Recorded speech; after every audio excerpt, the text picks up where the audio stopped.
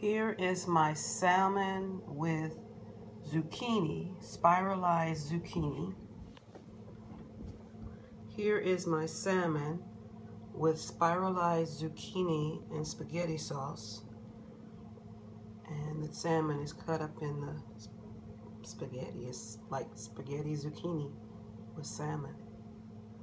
And it looks so